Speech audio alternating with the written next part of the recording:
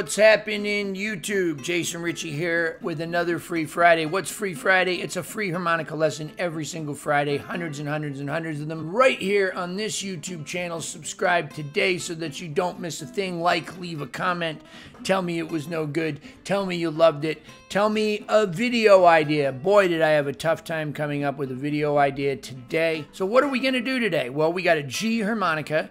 We're going to be in the key of A minor, and we're going to learn some gypsy jazz. So, if this is your first time hearing about gypsy jazz or any of this stuff, you're definitely going to want to check out my video on the harmonic minor scale.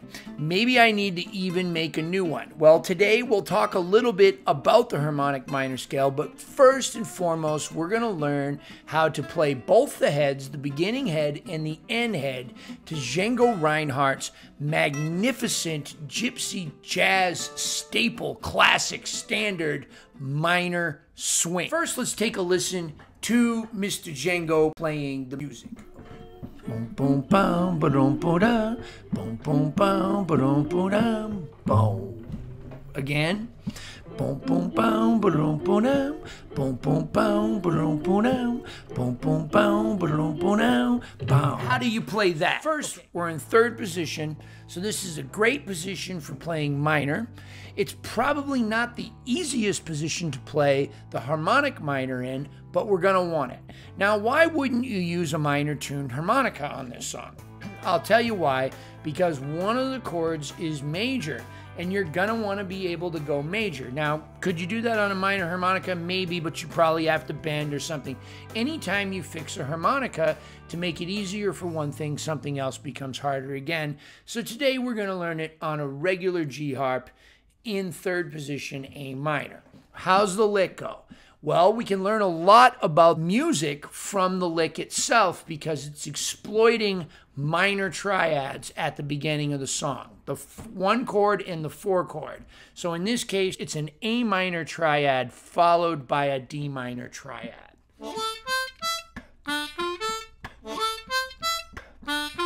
Now, if you listen, that's not exactly how Django does it. So we're going to learn exactly how the master did it. Right, here we go. Hear that? So what is that? So he's going four draw, five draw, six draw.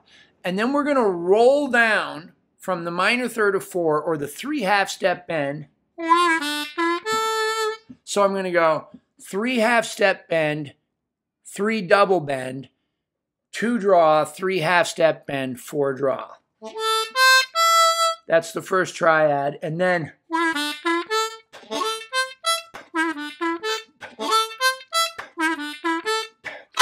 let's hear it again.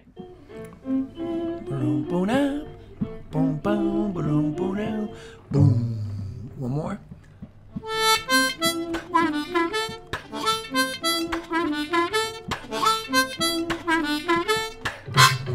and then into the solos. The end of the song and let's hear the second head because the second head of this song is different. The intro is different than the outro. Stefan Grappelli on the violin. Here comes a head.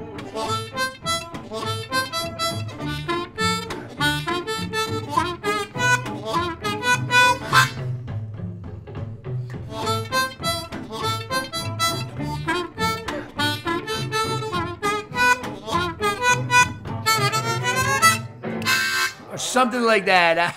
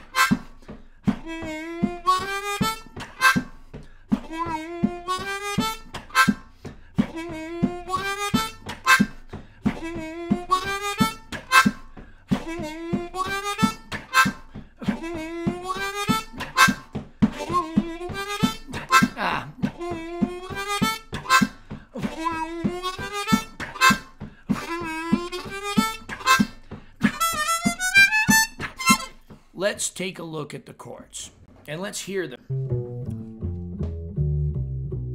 A minor, one, four, it's just a one, four, five, just like a blues. Five, major five, one. Now it goes four, a little different than a blues, but still blues changes. One, five, raise fifth. Look at the chords. Now, everything that we need to know about this song we already learned in the last head. That's why I taught you the last head before even approaching the improv section. Probably you guys know that in jazz, the improv section is everything. We play the head just to get to the solos, right? That doesn't mean, doesn't take away from how beautiful the head is. But a lot of times we can learn a ton about what to play in the improv section by really listening to what happened in the original melody or the head of the song. In this case, it's just imperative that you study the head or at least memorize it and start to apply similar things.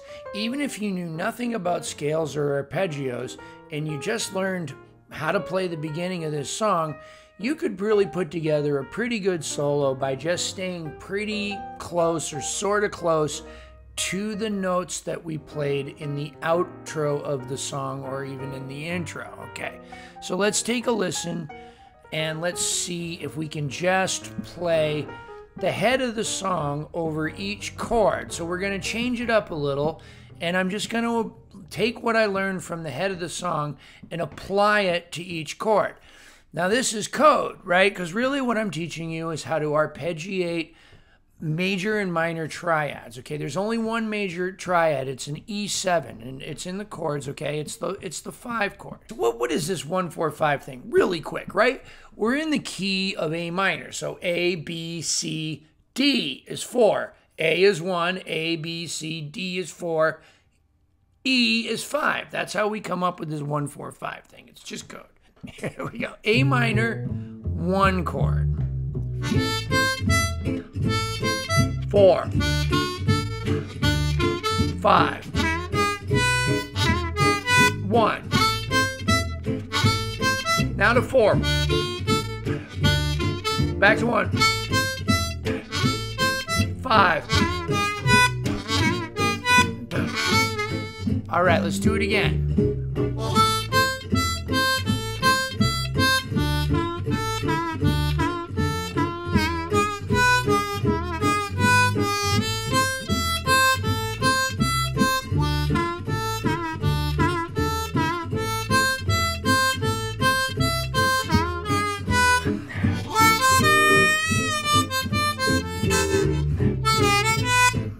Going to play the harmonic minor scale.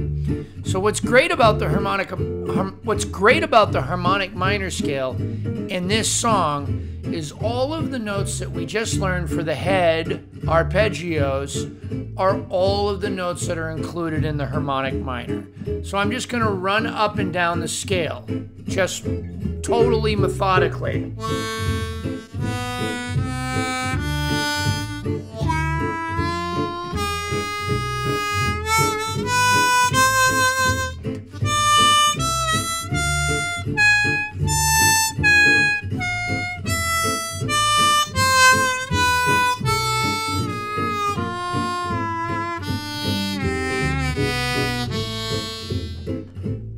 That's just the scale. So I could learn the scale and learn how to do some improv in it.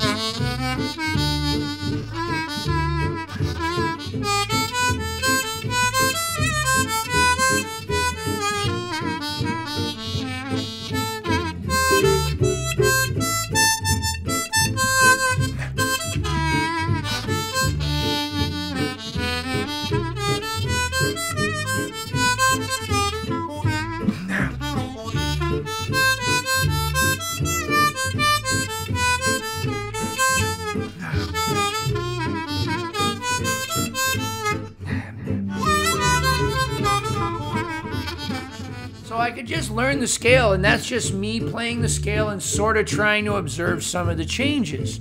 But I can also just go really, really heavy and depend on those arpeggios, right? So, one.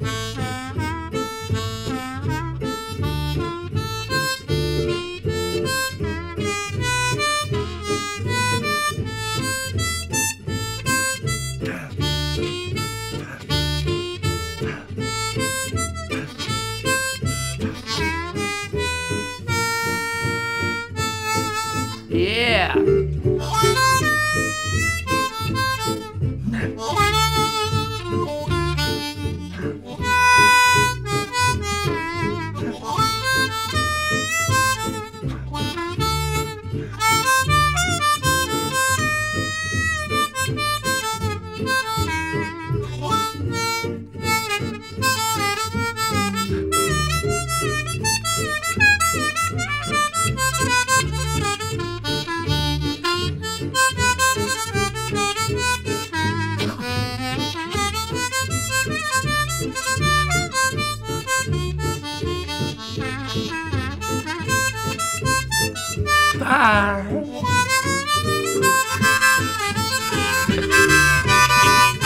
Yeah, yeah, yeah, yeah. So much fun.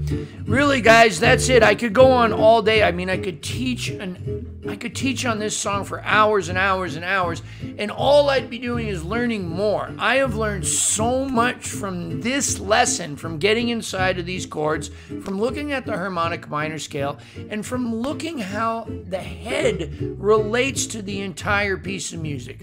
Be sure to check out the backing track below. Check out my videos on the harmonic minor scale and have fun. Remember, this is a tough one. Today's lesson was really, really tough. If you want to go out and buy a harmonica tune to the harmonic minor, go ahead, right? Go ahead, get in there and get out there and learn the thing. But I'm going to tell you, it's so much fun to play it on the regular diatonic. It is so much fun. You can go in and out. You can do all kinds of extra stuff. Every time you tune a harp, you make another thing harder. There's all kinds of room for overblows. You guys heard me put in that flat five that bend six, that four overblow to get the raised fifth, right? Those are kind of things that you're going to have problems with sometimes on tuned harmonicas.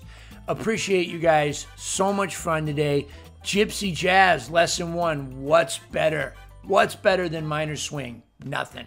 Stay tuned for the. Thank you, everybody, for tuning in to Jason Ricci's YouTube channel. 16 years of incredible YouTube harmonica related content. That's right, 16 years. At this point, over 500 free instructional videos. If you're interested in what kind of harmonicas I play, microphones, amplifiers, pedals, any harmonica related products, please check out my sponsors. These sponsors, in one way or another, also help keep these videos going. Who am I talking about? I'm talking about Blue Moon Harmonicas bringing you the best in custom harmonicas. We got custom cover plates, custom combs. You can get your name put on it, just like me. Reed work, refurbished pre-war marine bands.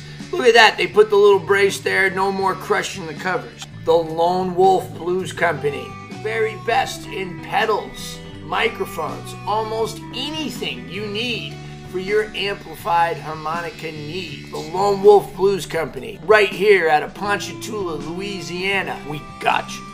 Harp gear, amplifiers. They got big ones, they got small ones. You know what they sound like? They sound like the best tube amps on the market. Harp gear amplifiers out of Ocala, Florida. Pedal pad, pedal boards. Incredible custom pedal boards built to last, made by two brothers who really, really care. Hohner harmonicas. A Mooncat loves the Hohner harmonica. I like the Marine Band. I get Tom to put the little special 20 cover plates on it. He tricks them out, but they play great right out of the box. All of these sponsors are linked below in the description box. What else is linked below? Patreon. Consider becoming a Patreon patron. You'll be supporting me, you'll be supporting the cause, you'll be keeping these videos free for everybody, and you'll get a lot of extra content over at Patreon. You'll get vlogs, occasionally some extra lessons, some posts that you might not see on Facebook, a lot of stuff that I can't say or won't say here on YouTube is over on Patreon. I love my Patreon family. You guys are the best. If you're not into the monthly subscription, you can also give me a one-time tip at Venmo or PayPal below too. I'm a touring musician and I play all over the country, really all over the world with all kinds of different acts. Check out my website www.mooncat.org. In all seriousness, YouTube Patreon, my sponsors, have absolutely changed my life. Subscribe below, set reminders for the videos. Don't miss any events. Every single Friday, there's a free harmonica lesson and a lot more. Even if you're just subscribing, you're helping me a lot. Those of you that are joining me on Patreon, you guys are helping me to make better decisions with my career. In all sincerity, thank you so much, YouTube for just an incredible, incredible outlet. It's a video diary. I get to look back at 16 years of these videos. Met a lot of new friends, some really fine musicians, made some great contacts in the industry, and it's all because of you. Thank you, my harmonica family.